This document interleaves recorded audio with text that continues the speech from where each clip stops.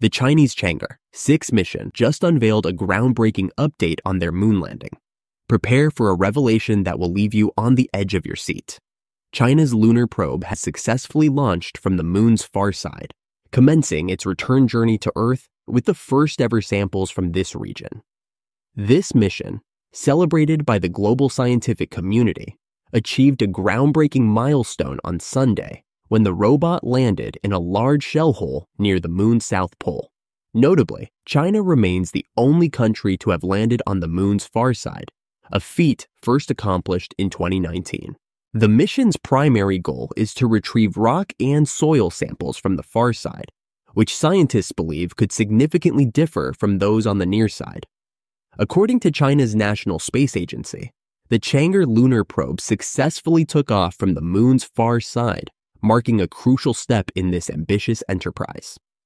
China will be the first country to have gathered samples from this region, further establishing its expertise in space exploration. Previous missions, like Chang'e 5, collected samples from the moon's near side, but the far side presents additional technical challenges and more difficult terrain.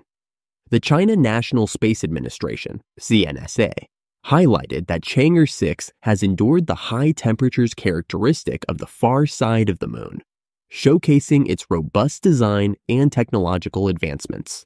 This mission not only aims to provide new insights into the moon's geology, but also covers the way for future lunar exploration, potentially benefiting the broader scientific community with unparalleled data and samples from the moon's unexplored regions.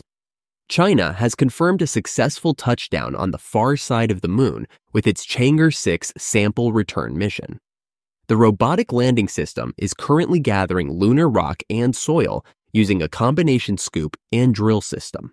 After two days of sample collection, the material will make its way back to Earth, expected to touch down on June 25th. This mission marks the first time samples from the moon's far side will be available for study. Here's how the mission unfolded.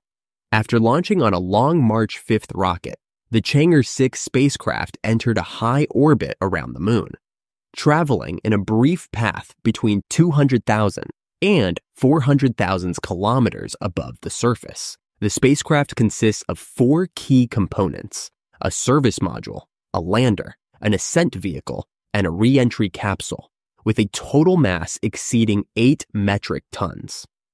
Over the following weeks, the vehicle gradually descended into a circular orbit.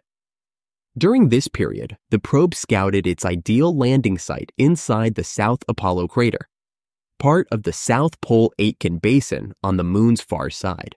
This mission represents a significant achievement in lunar exploration and sample collection.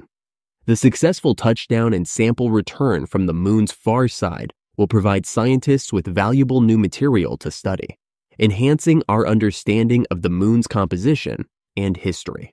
After setting its designated location, the lander detached from the reentry module and began its gradual descent to the lunar surface.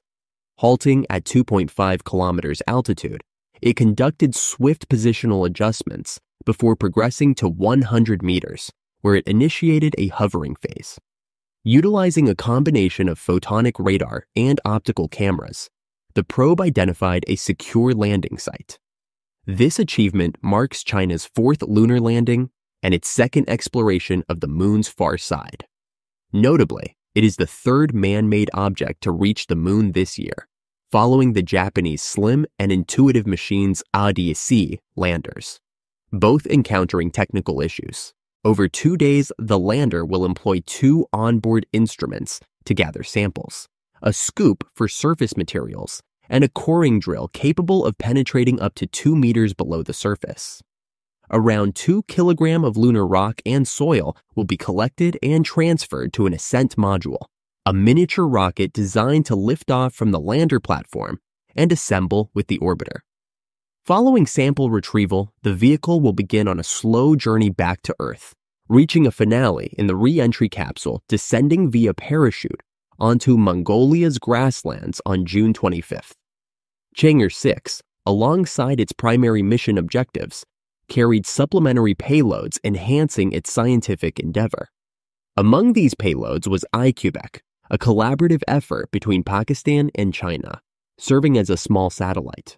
This CubeSat, operational in lunar orbit, aims to construct a model of the moon's magnetic field, providing valuable insights into lunar dynamics.